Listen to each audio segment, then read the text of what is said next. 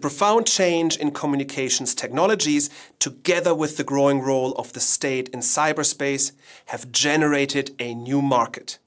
A new political economy dynamic, which Ron Deibert calls the cyber security industrial complex. Well, the interesting thing eh, right now is that the same dynamics and preferences and uh, operational logics that surround the world of the Internet of Things and the personalized economy, the data economy that we live in, are almost identical to the needs and preferences and operational logics of national security organizations.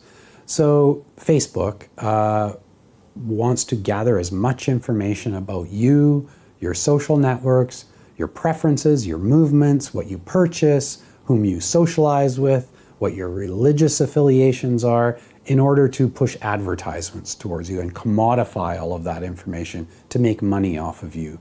Uh, the CIA, the NSA want to do the very same thing.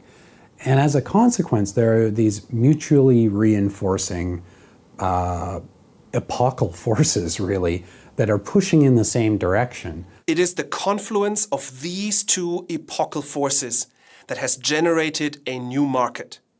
A new market that has resulted from the convergence of the aims of internet companies on the one hand and state security agencies on the other.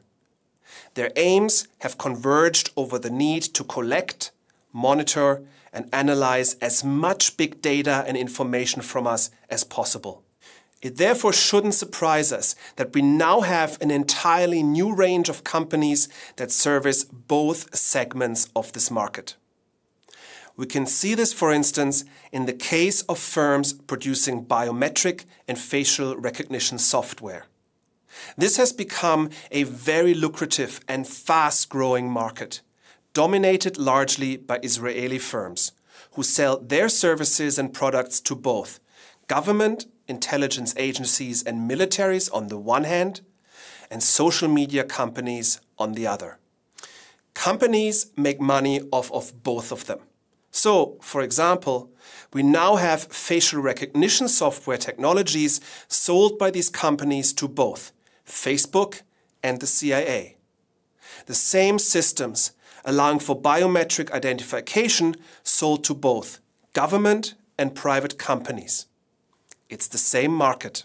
That has important consequences because it it provides an underlying monetary logic and dynamic to the uh, mutually reinforcing tendencies of these two social forces, um, but also it it actually accelerates and reinforces certain tendencies that policymakers have.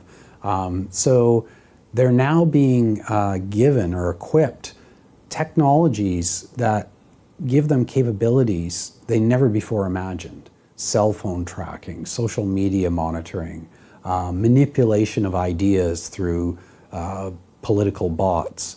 Um, that we're, we're entering into this new territory of information warfare that is undergirded by a political economy dynamic that is um, reinforcing it all.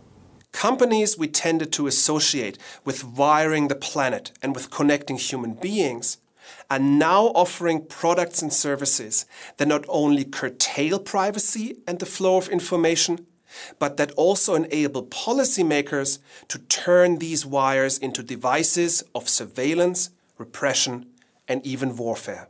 The confluence of these two historical social forces happening right now is breathtaking in scale and scope. And the dynamics they generate require us to pause in order to think about the historical significance. Because, as Ron Deibert argues, what is ultimately at stake is nothing less than the viability and future of liberal democracy itself. I think that at the very time that we're turning our digital lives inside out, we have the state watching everything we do. And that is important because it raises very significant issues around uh, civil liberties and the protection against the abuse of power. If you look at uh, the history of liberal democracy, at, at, at the heart of, of the evolution of this concept is restraint of power, usually through some kind of distribution of power and checks and balances. Uh, right now, we have a, a, really dangerous situation unfolding where we're handing over all of this information to the private sector, which typically is not held to the same accountability as our political institutions, at the same time that we're entrusting the security of the physical space that we live in to agencies that are artifacts of the Cold War that uh, typically are shrouded in secrecy and themselves lack political accountability. So we have this double blind when it comes to accountability happening right now that I think needs to be reversed if we want to protect liberal democracy.